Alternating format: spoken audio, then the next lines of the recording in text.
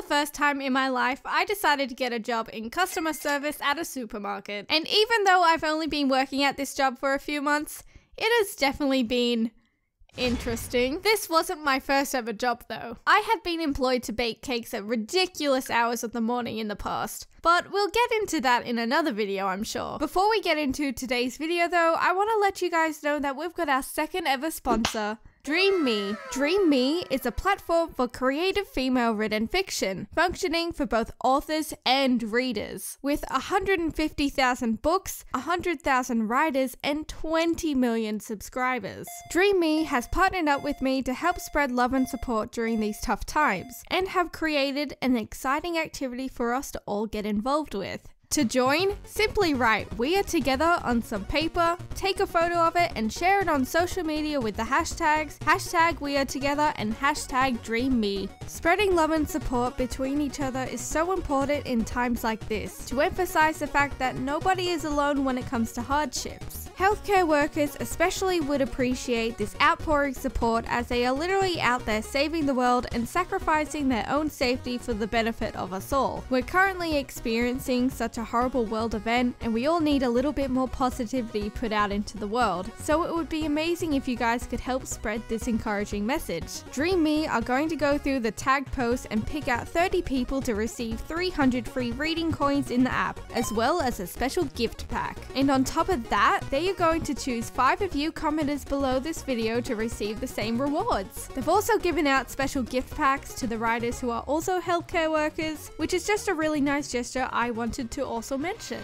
Anyway, on with the video. This customer service job was my first job that required social skills, and I had none when I blindly walked into it. Me applying for this job and me creating this YouTube channel happened at exactly the same time, and for a good reason. I probably could have invested all my time into YouTube, but I knew that I probably needed some sort of backup to support me while I was trying to make this all work. And me working at this place had turned into content, so you know. Let's call the supermarket Lols, since that rhymes with the actual name of the store and I don't want to get sued for using their awful store name. I applied for my job at Lols online and a couple weeks later I was scheduled in for an interview. I used to hear so many horror stories about people freaking out and butchering their interviews purely on the fact of nervousness, but honestly, I felt fine. I walked in and answered all the typical job interview questions and then we just spoke about dogs for the second half of it. I was pretty satisfied with that. Then, the week after that,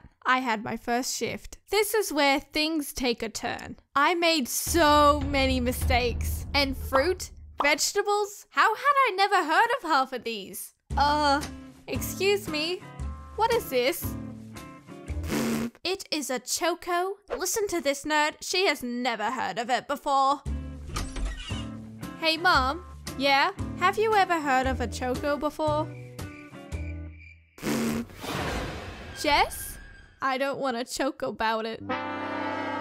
Not only are the random names of obscure fruit hard to grasp, but trying to find certain brands of certain fruit? Wow. Let's use a really simple example here though and say apples. Do you know how many different types there are? What about mandarins? So many. When I was being trained up for the job, I accidentally pressed the wrong type of apples on the system and suddenly offended a customer.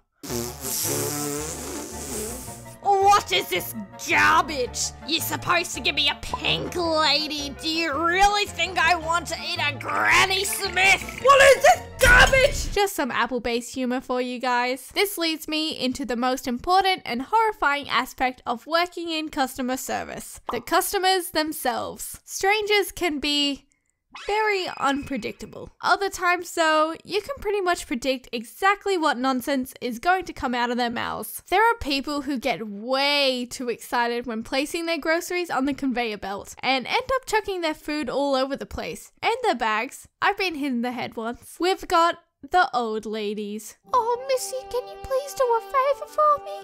My arms are so weak and I can't lift my bags up. Thank you so much, young lady. You are beautiful, and I don't doubt your mother thinks the same. Legit, some old lady said that to me, and after she left, I heard her complimenting someone else. She is the definition of a blessing. On the other hand, though, some are like this. Where is my wallet? You stole my wallet. Give it back! Are you putting through my capsicum as a red, not yellow? Oh my god, I hate the yellow ones. How much is this? Something definitely smells around this area. Fix it. Hold up. How did this add up so quick? It has got to be wrong. Does this taste good? Can I please speak to Karen? I bet it doesn't. How much are the apples this week? Great, now you made it too heavy. Can you enter my PIN in for me? Please don't steal my bank details. It is a lot to handle, especially when first starting the job. Not to mention that I wore a badge stating that I was new, so you know. Give your girl a break. Also, I found out there's a lot of people like this. Hi, how are you going? You know what? Put me in a box and yeet me across the ocean. I don't have time to deal with this. There's also those situations where both people say, How are you doing? And it's just awkward because no one replies because you think the other person's going to reply. This happens all the time. Who is meant to answer first? Is anyone meant to answer? Some people really make me uncomfortable though. Here's something that happens way too often. Hey there, how are you doing? Ah! Just why? In what type of situation do you need to wink at a worker in a grocery store? Explain your reasoning for this. And what makes it worse is that it isn't just the same person doing this on repeat. Heaps of old men do it, which is disturbing. After that happens, I'm kind of just on edge and let out awkward laughs if they say anything else. Exhibit A.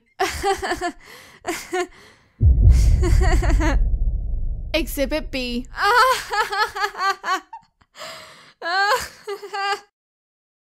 yep, awkward. I know a lot of other people do this too, but I have the fakest customer service voice out there. My voice just goes all high pitched and I can't control it, it just happens. This might be one of the reasons why people have been asking me, uh, how old are you? You look like a little girl. Why aren't you in school? You dropped out of school to work here? Wow. Okay, some people apologize, which is cool and all, but if it were me, I wouldn't question anyone's age if you didn't know them personally. One time, a lady was so blunt and said this right to my face 18?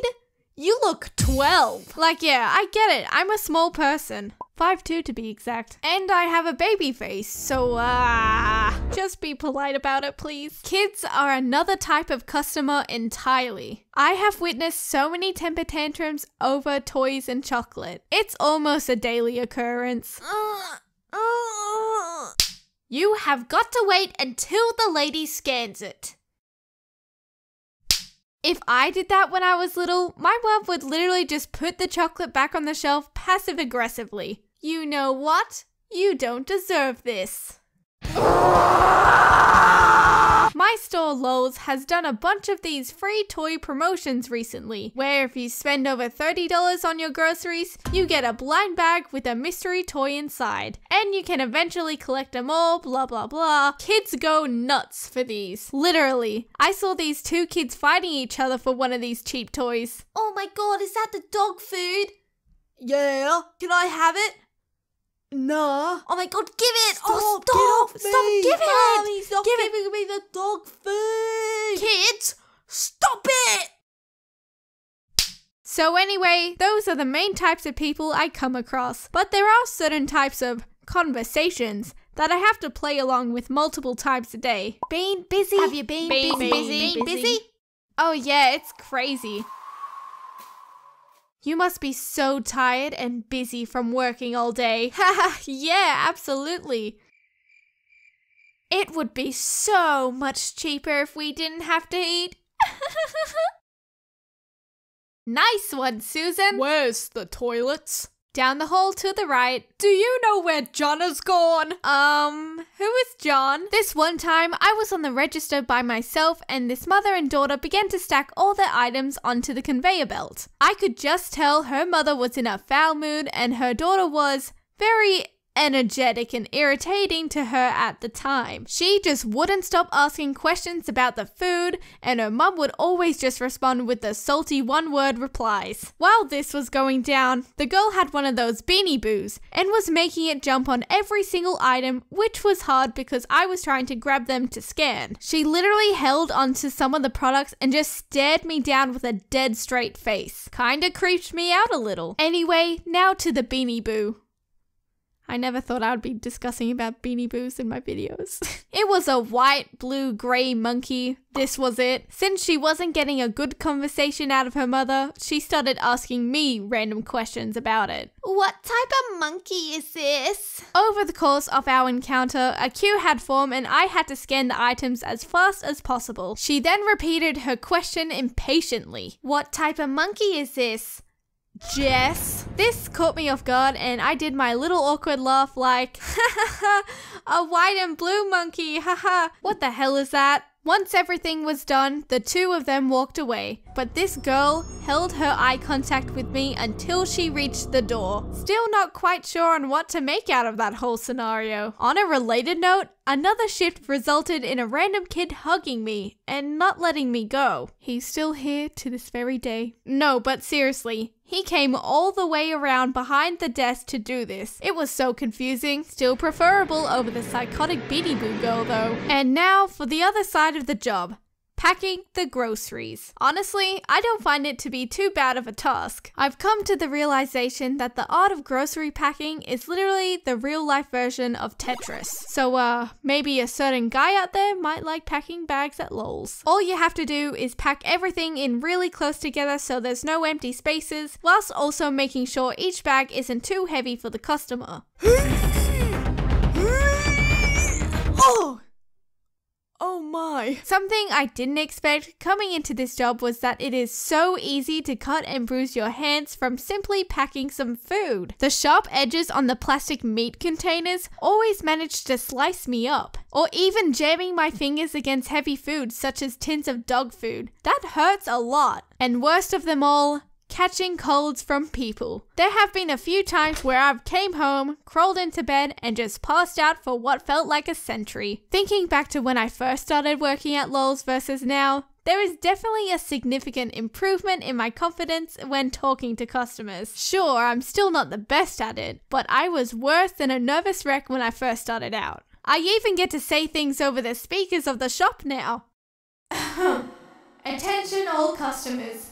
Please subscribe to www.youtube.com slash jelly.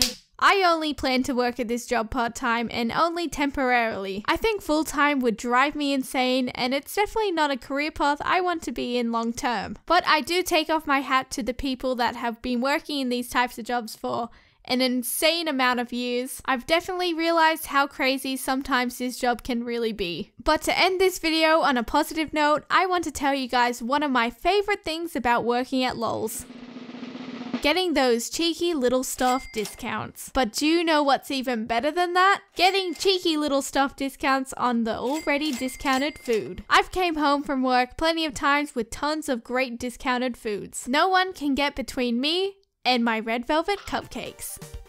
Hey guys, thank you so much for watching and I hope you guys enjoyed me talking about lols. I've actually been working at this job for quite some time now so I definitely have a lot of other stories for a part 2 if you guys are interested.